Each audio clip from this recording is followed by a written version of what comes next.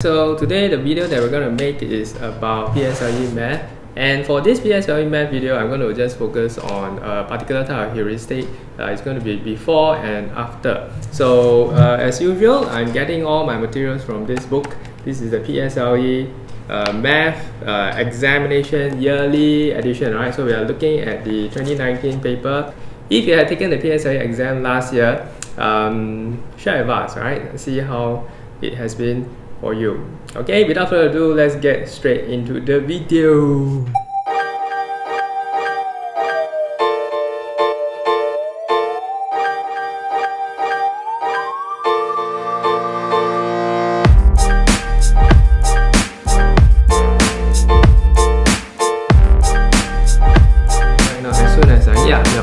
Okay, so let's take a look. So what I'm doing is I'm just looking at all the before and after questions. Uh, I found three of them. Um, there could be more. I just took like a very quick look, you know. So yeah, I, I, I thought I saw three.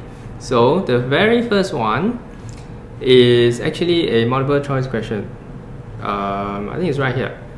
Okay, yeah, so this is the multiple choice question that I think is related to before and after. Let's take a look and see what it is. Okay, so question number 13, this was last year's PSLE math.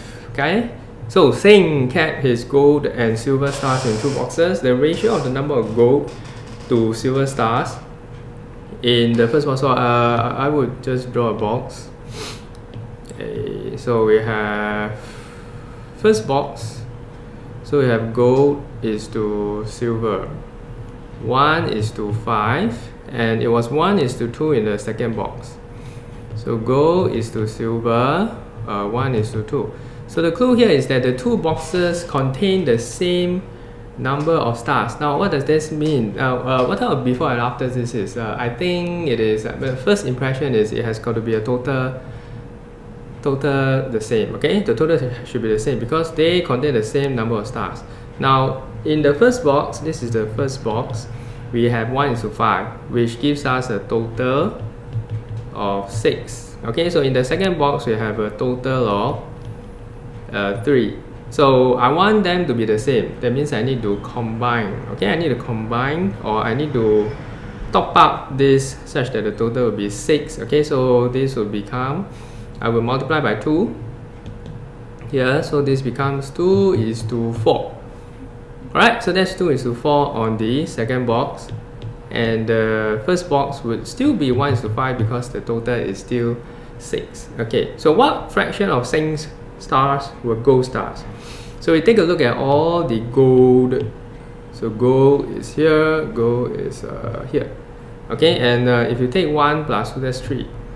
Now, what fraction of Singh's stars? Now, yeah, Singh, you know, okay, what, what, what's the total number of stars that he have is 12, right? So it's 3 out of 12.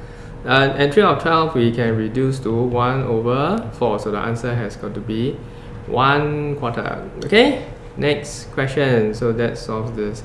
It's a question number 13, so it's actually 2 marks uh, for this particular question. Let's take a look at the next one. Uh, yeah, this one, right? Okay, so at first the ratio of the number of boys, to the number of girls in a chess club was 4 is to 1. So this this thing, you know, at first, every time I say the word at first, uh, it means it should be some kind of a before and after. So at first, uh, before, before, right, I have uh, 4 is to 1. Boys is to girls. Well, video shaking. 4 is to 1. After 6 boys, 6 girls join. So plus 6 plus 6 right the ratio became 3 is to 1 so after uh, it's 3 is to 1 okay so the the percentage of members who are boys increase decrease or remain the same. Uh, so this is actually a uh, before and after difference uh, difference unchanged Okay, what do you mean by difference unchanged? Because you see both added 6, you know, 6 boys, 6 girls. So the difference uh, shouldn't change. Okay, so the ratio at first is 4 is to 1. Then you add 6 boys and 6 girls. After that, the ratio became uh, 3 is to 1. Alright? So did the percentage of members who are boys, did the percentage of members who are boys increase, decrease or remain the same? Hmm. So in the end, how many boys were there in the club? At first, the ratio the number of boys to girls was 4 is to 1. After 6 boys, the ratio became 3. So what we want to do is to look at the difference. Because it's a difference unchanged, okay?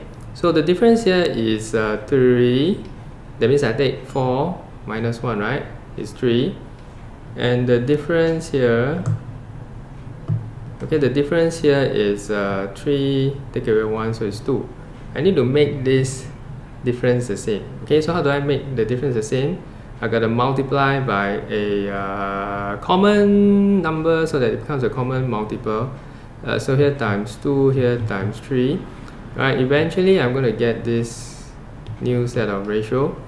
So everything times 2 I get 8 boys is to girls right? 8 is to 2 so plus 6 plus 6 and this side times 3 I get um, 9 is to 3 okay so now the difference is the same. So a difference of 6 and a difference of 6 right so once I found that the difference of uh, 6 6 here uh, immediately I can tell that this 1 unit difference if I take 8 minus so 1 unit is equivalent to 6 students.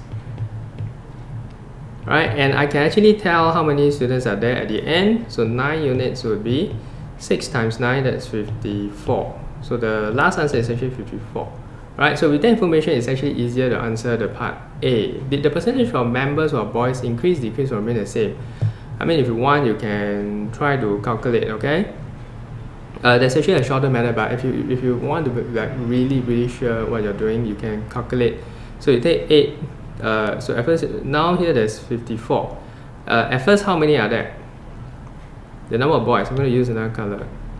Okay so the number of boys if you take 6 times 8 right is actually 48 so at first there were 48 so you plus 6 becomes 54 how about the number of girls? At first there were uh, 6 times 2 so that's 12 then after that there are 18 okay so the percentage of members who are boys did it increase decrease or remain the same? So at first it's 48 if you take a look at here this is 4 is to 1 okay so uh, percentage of boys will be 4 over 5 right?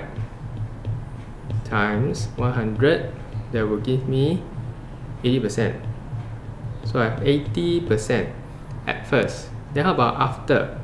So after that it became 3 and 1 so that's 3 out of 4 times 100 it became 75 percent. So the answer is it decreased Alright, so it decreased. Okay, we're now back to the, uh, the, we're now back to the last question. So because I only saw three questions, right, related to before and after. So the last one is over here. So this is a um, problem sum, only three marks, right? So it's not too bad. Okay, let's take a look at this question. Uh, so a box contains black beads and white beads. It's always a box, huh? yeah. Ooh, ooh. Okay, so it's always a box. Oh, later. Okay, so a box contains black beads and white beads. So let's draw a box. Um, I got pretty good at drawing boxes after doing all maths problem sums. okay, so at first the number of black was one third the number of white. So black is to white. At first one is to three. After one quarter of the black and 3 out of the 8 were used, 63 beads were left. Alrighty, so I'm going to draw slightly bigger. Okay. Yeah. So one third of the number of, at first the number of black was 100. Okay, so after one quarter of the black beads, so if I take a look at this, right, this, this, this, this thing, you know, it's, it shows 1, so not very useful, right? Because I want to remove one quarter, so I bump it up to a bigger number let's let's use a bigger number so black is to white I want to remove one quarter, so let's put at first 4. Now if at first there's 4, uh, the number of white would be 3 times a quarter would be 12. Okay, 1 quarter of the black beads and 3 out of 8 were used. Okay, so I minus 1, so left 3. And then, that well, for the white color, it's 3 out of 8. So, you know, I have 12 here, it's a bit harder. So I just take 3, 8 times 12. Now at this point, this is a paper 2, you get to use your calculator. So, well, you can just divide it by 2, divide by 4, so it's 2, uh, so it's 3, right? So it's 4.5 units. Okay, so take away 4.5 U and uh, it's 7.5. Okay, we left 7.5 units. So the question is, there were 63 bits left. So for these 63 bits, right, how many units is it? It's a 3 plus 7.5 that will give me 10.5 unit represent 63. Okay, now if 10.5 units represent 63, uh, I want to find one unit. One unit represents how much? 10, 63 divided by 10.5, 6. So one unit is 6 that sort of solves the entire question okay? So yeah I, I'm almost like solving the whole thing. So if one unit is 6 uh, how many bits were there in the box at first? Uh, 16 units. So 6 times 16 96 bits. And uh, yeah that's part B. So we solve B see? Oh so what fraction of the bits were used um, we got to look at this one uh, here and here. Okay, what fraction of the bits were used? I used a total of I used a total of five and a half units. Right, so at first there were 16 units. Uh, yeah, so in fractions you cannot have decimals, so what do we do? We bump it up to 11 times 2, so this 32, right? So the fraction will be, uh, for part as is 11 over 32 that's it. Okay? So anyway um, yeah these are all the before and after questions that I can find in the 2019 PSLE um, so what we do here is we have a lot of videos that's prepared for you. They are all in learning units in the group. So what you have to do is you got to join our group join the group okay? So it's in the link somewhere right? We put the link somewhere so you can click and join the group. So what I do is I try to compile all before and after circles uh, speed uh, DST and all that stuff to learning units okay? Something new in facebook learning units. So if you want to learn speed just go and click the speed stuff you want to learn about uh, you know how we solve advanced circle i just want to click advanced circle stuff. It's still work in progress okay? So we got someone uh, to help us do all these things okay? And all i have to do is to keep making videos alright? Hope you enjoyed today's uh, episode. It's a shorter version of what we did last time but I think it's pretty useful.